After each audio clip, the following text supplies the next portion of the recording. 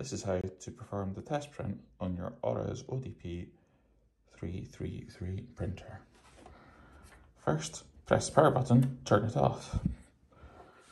Holding in the feed button above the power button, power it back on again.